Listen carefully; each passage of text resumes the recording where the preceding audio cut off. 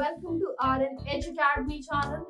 Question 6 of exercise 10.2 says the length of a tangent from a point A at a distance 5 centimeter from the center of circle is 4 centimeter.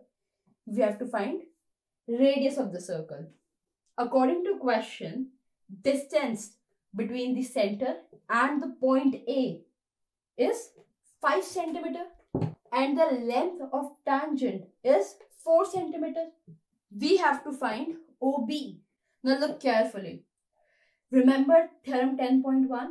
It says the tangent at any point of a circle is perpendicular to radius through the point of contact. That means OB is perpendicular to AB. Now look carefully. OAB is a right angled triangle.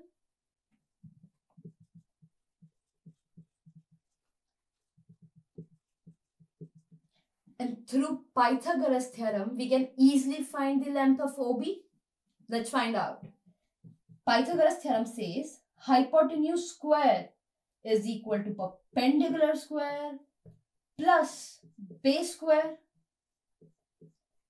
In this case, hypotenuse is the longest side, that is OA.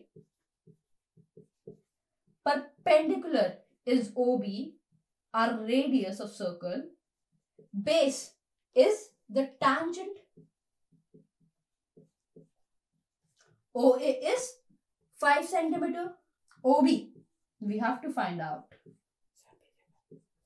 AB is 4 centimeter. 5 square is 25 is equal to OB square plus 4 square is 16. Now 25 minus 16 is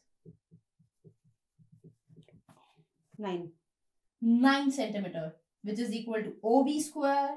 25 minus 16 is 9. 9. 9 is equal to OB square.